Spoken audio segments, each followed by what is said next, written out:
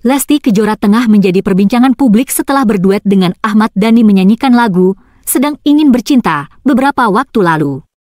Istilah candu mengalir Lesti sontak menjadi viral di jagat sosial media terkait penggalan kata mengalir dari lirik lagu itu dinyanyikan dengan merdu oleh istri Rizky Bilar itu.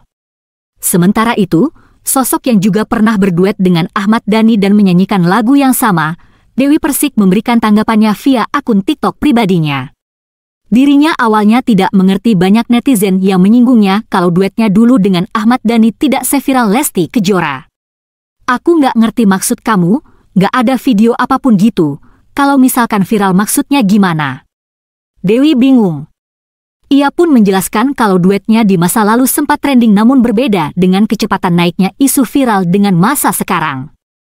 Zaman aku dulu, 21 tahun yang lalu, tidak ada TikTok, tidak ada Instagram, dan mungkin Facebook nggak tahu juga ya, kalau zamanku dulu pada waktu aku duet sama Mas Dani sih, viral, rame gitu, jelas mantan istri Saiful Jamil itu.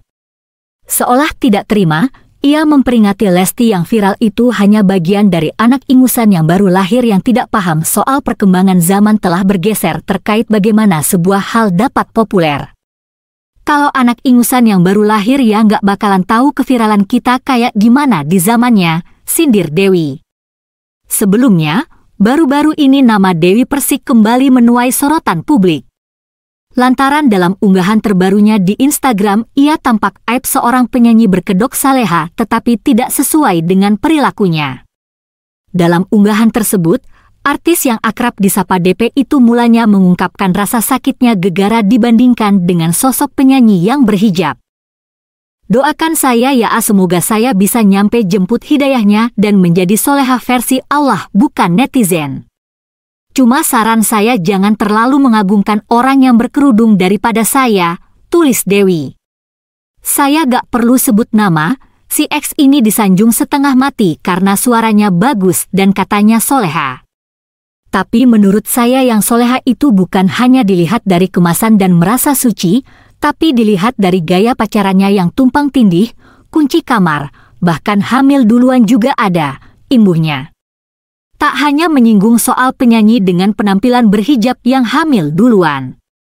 Ia juga sempat menyentil sosok artis berimej saleha yang kedapatan merebut suami orang, gak tahuhan aslinya, ialah kalian cuma lihat luarnya saja. Tapi saya di dunia entertain yang penuh dengan kemasan drama biar terkesan soleha, ada juga loh yang ambil suami orang, ngegoda suami orang, delel saya gak akan sebut dia siapa, tuturnya.